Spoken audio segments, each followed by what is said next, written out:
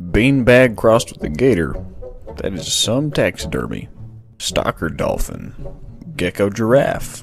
Woofy gator. Hey, that's my cousin Frank. Sketchy pig. I don't know what the heck those are, but I've got a hundred of them in the back shed. I think there's some kind of screwed up beaver, a descendant of Cain. What you got there is an RV on legs, friend. Little yippers. Can't get the things off my porch. I swear Larry keeps feeding them or something, because there's no way they're that stupid on their own. Bacon that done a whole lot of wrong. Probably looks like that because of science or government or something. It's commie bacon.